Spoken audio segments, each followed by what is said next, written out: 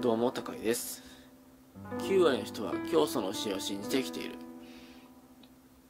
人間がコントロールされる作業の中に Windows や Mac という OS を打ち込む作業とウイルスのソフトを打ち込むっていう作業があるんですけどまず OS を打ち込む作業の中に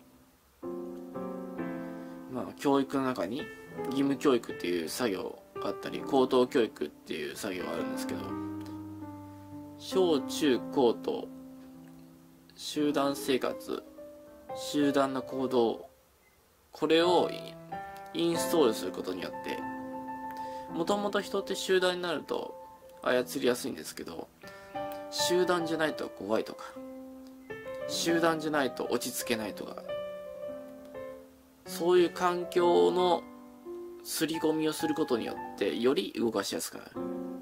これが OS を打ち込む第一段階。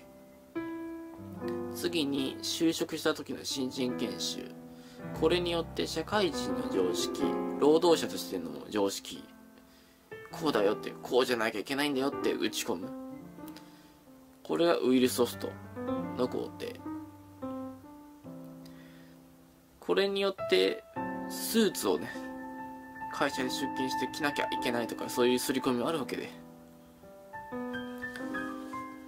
その次に人格を否定する作業があるんですよね実際。これが上司によるものであったりするんですけど。年齢差別や学歴差別といったものです。お前こいくつの癖してこんな常識も知らねえのかとか。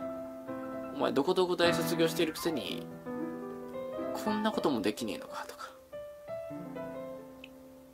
そういう常識もできてないやつを潰していくみたいなね。